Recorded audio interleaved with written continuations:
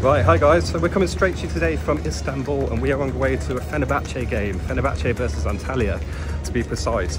So we're doing this with home fans. It costs £75 for the ticket. The ticket includes your ticket into the stadium, also a scarf and I think some food as well. The reason we did this because you need a Passolig card and I thought it would just be easier and less hassle and something new to experience as well.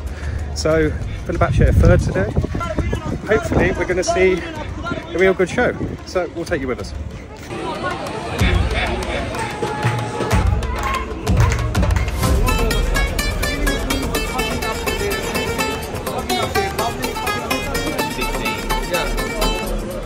Fenerbahçe's not doing well because Galatasaray Not doing well, yeah. well, Galatasaray is doing well. No surprise. No, Yeah, no yeah, surprise. yeah. Yeah. We cannot get any money from UEFA competitions, which is a big prize for a Turkish team.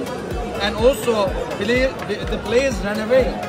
We have we have uh, Dirk Kuyt, Raul Meireles, Moussa Sow. We have amazing players. Mamadou Niang. We were amazing. Fenerbahce in 2011, first time in a Turkish history, a, a sports club won five major leagues.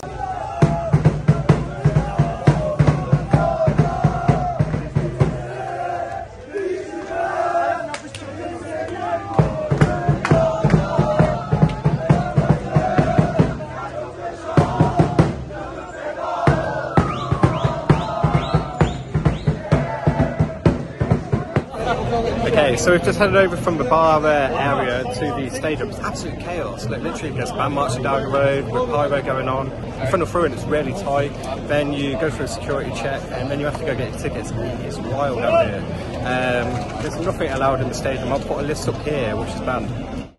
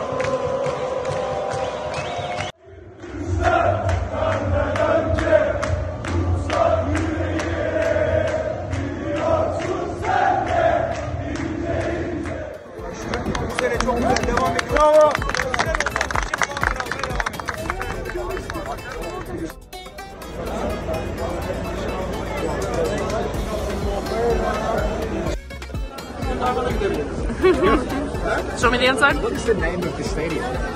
Can I see the inside? It's going to be added. Bulgur wheat. Five star. Bulgur wheat with spices and rhinestone mushed up. Right guys, so the game finished 3-2, the atmosphere was absolutely insane and OG from home fans was fantastic. We were right next to the Ultras, Antalya were all over for the Fenerbahce first half, the second half it all came back. So much for watching and I'll see you on the next one.